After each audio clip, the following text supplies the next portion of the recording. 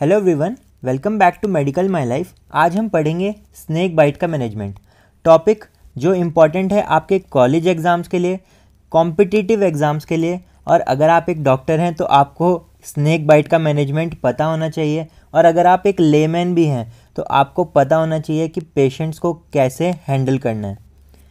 तो यहाँ पर हम जो अप्रोच यूज़ करते हैं वो है right approach R stands for reassurance I stands for immobilise G H stand for go to the hospital immediately and T stand for tell the doctor any symptoms that manifest on the way to hospital तो सबसे पहले है री assure the patient तो आपको, देखिए, जैसे ही snake bite करता है तो पेशेंट को क्या होता है ना एनजाइटी होती है। एनजाइटी या फिर फियर की वजह से हार्ट रेट बढ़ जाता है। हार्ट रेट बढ़ने की वजह से जो ब्लड का फ्लो है ब्लड सर्कुलेशन है, वो भी इंक्रीज़ हो जाता है। तो यहाँ पर क्या होता है, जो वेनम है स्नेक वेनम उसका फास्ट स्प्रेड होता है बॉडी में और फास्ट स्प्रेड की वजह से पेशेंट की डेथ हो सकती है। तो एनजाइटी की वजह से भी पेशेंट की डेथ हो सकती है। अब आपको पेशेंट को कैसे रीअश्योर करना है? आपको बताना है कि जो स्नैक बाइट होती हैं, ज़रूरी नहीं है आपको वेनमस स्नैक ने काटा हो। सेवेंटी परसेंट जो बाइट होती हैं, वो नॉन वेनमस स्नैक की होती हैं। अगर आपको वेनमस स्नेक ने काटा भी है तो ज़रूरी नहीं कि वो एक्चुअल बाइट हो। हो सकता है वो ड्राई बाइट हो। मतलब वेनम बॉडी में गया ही नहीं है। और अगर आपको एक्चुअली में एनवेनमेट हुए हो आप मतलब एक्चुअली में बाइट हुआ है तो इसके लिए ट्रीटमेंट अवेलेबल है घबराने की बात नहीं है। सो so, आपको सबसे पहले क्या करना है? रीएश्योर करना है पेशेंट को। पेशेंट को एनजाइटी नहीं होने देनी है। इसके बाद देखिए, आपको पता होना चाहिए, दो टाइप के स्नेक होते हैं वेनमस और नॉन वेनमस वेनमस में भी हीमोटॉक्सिक स्नेक होते हैं और न्यूरोटॉक्सिक हीमोटॉक्सिक मतलब ये ब्लीडिंग कॉज करेंगे. क्या करेंगे? ये ब्लीडिंग कॉज करेंगे. तो जो वाइपर स्नेक्स होते हैं Russell viper saw scaled viper hump nose viper ये ब्लीडिंग करते हैं. तो कई बार कॉम्पिटिटिव एग्ज़ाम्स में इमेज बेस्ड क्वेश्चन पूछ लेते हैं तो आपको पता होना चाहिए this is Russell viper this is saw scaled viper and this is humped nose viper तो आप यहाँ पे इसकी नोज़ देख सकते हैं हम्प्ड नोज़ वाइपर अब जो हमारे न्यूरोटॉक्सिक स्नेक होते हैं न्यूरोटॉक्सिक स्नेक में आते हैं हमारे कोबरा एंड क्रेट ये न्यूरोलॉजिकल मैनिफेस्टेशन कराते हैं। तो कोबरा तो आप सभी पहचानते होंगे। एंड ब्लैक कलर का होता है विद लाइनिंग, देखिए वाइट कलर की स्ट्राइप्स हैं। ये होता है हमारा क्रेट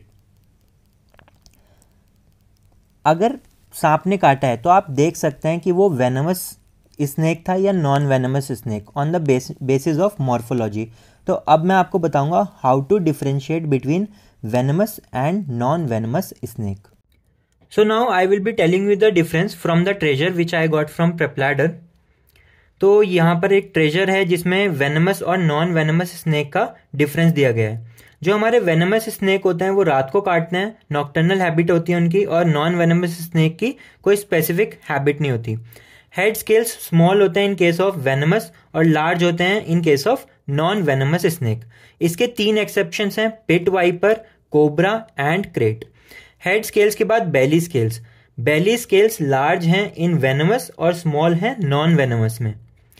टेल की अगर हम बात करते हैं कंप्रेस्ड टेल होती है in venomous not compressed in non venomous fangs जो फैंग्स होते हैं, वो लॉन्ग होते हैं। देखिए, जो फैंग्स हैं, ये लॉन्ग हैं इन वेनमस और fangs short and small groove teeth होते हैं यहाँ पर नॉन वेनमस में। तो इसी के बेसिस पे जो बाइट मार्क होता है तो बाइट मार्क वेनमस स्नेक का टू फैंग मार्क होता है और जो नॉन वेनमस स्नेक होता है, उसके बाइट मार्क में स्मॉल टीथ मार्क्स होते हैं मल्टीपल टीथ मार्क्स होते हैं। So this is the difference between venomous and non-venomous snake. So now after reassuring the patient आपको इमोबिलाइज करना है पेशेंट को। देखिए तो जिस लोकेशन पर काटा है, जैसे यहाँ पर काटा है सांप ने तो आपको इस पैर को इमोबिलाइज करना है लाइक अ फ्रैक्चर्ड लिम ठीक है? मोस्टली जो सांप होते हैं, वो हाथ या पैर पर काटते हैं तो आपको उस पार्ट को इमोबिलाइज करना है। पेशेंट को वॉक नहीं करना है। अगेन, वॉक करने से क्या होगा? वॉक करने से ब्लड फ्लो बढ़ेगा।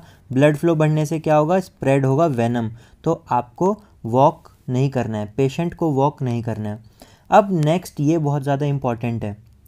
टूनी के अप्लाई नहीं करना है। देखिए, क्या होता है ना, काफ़ी जगह ये माना जाता है कि अगर सांप ने काटा है तो वेनम स्प्रेड ना कर जाए बॉडी में, इसलिए यहाँ उसके ऊपर टाइट से कुछ बाँध दीजिए। ऐसा नहीं करना है। देखिए, अगर आप कुछ भी रस्सी, बेल्ट, कुछ भी बांधेंगे तो क्या होगा, जो इतने पार्ट की ब्लड सप्लाई है, वो रुक जाएगी। इसकी वजह से स्कीमिया हो सकता है एंड देन नेक्रोसिस और प्रेशर नेक्रोसिस हो जाएगा। तो आपको ये नहीं करना है। डोंट सक द वुंड इससे आपकी जान को खतरा हो सकता है तो ये तो बिल्कुल भी नहीं करना है। दिस इज़ नॉट एडवाइज्ड और आपको वुंड को कट भी नहीं करना है तो आप काट कर वैनम निकालने की कोशिश कर रहे हैं, ऐसा भी नहीं करना है। तो इमोबलाइज कर दिया है। तो we have reassured the patient हमने पेशेंट को इमोबलाइज कर कर दिया है। अब आपको पेशेंट को हॉस्पिटल ले जाना है, जल्दी से जल्दी, ताकि पेशेंट का ट्रीटमेंट स्टार्ट हो पाए। और फाइनली आपको, अगर पेशेंट को रास्ते में ले जाते हुए कोई भी सिम्टम्स आते हैं ब्लीडिंग आती है या किसी तरह के कोई भी सिम्टम्स आते हैं तो आपको वो सब चीज़ें डॉक्टर को बतानी है। इसके बाद हम देखेंगे treatment of snake bite so now you are a doctor और आपके पास एक पेशेंट आया है स्नेक बाइट का टूर्निके अप्लाई कर कर। गाइडलाइंस है टूर्निके अप्लाई नहीं करनी है बट फिर भी पेशेंट ने टूर्निके अप्लाई कर रखा है तो आपको क्या करना है? आपको उस टूर्निके को कट नहीं करना है। अगर आपने टूर्निके कट कर दिया तो क्या होगा? एकदम से जो वेनम है, जो पॉइज़न है, वो पूरी बॉडी में स्प्रेड कर जाएगा और डायफ्रामेटिक पैरालिसिस और पेशेंट का बीपी एकदम से गिर जाएगा, जिसकी वजह से पेशेंट की डेथ हो सकती है। तो आपको करना क्या है? देखिए, आपको क्या करना है?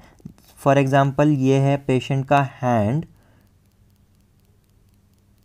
और यहाँ पर पेशेंट को स्नेक बाइट है। यहाँ पर पेशेंट ने टाइट से रोप बांधी हुई है, रस्सी बांधी हुई है।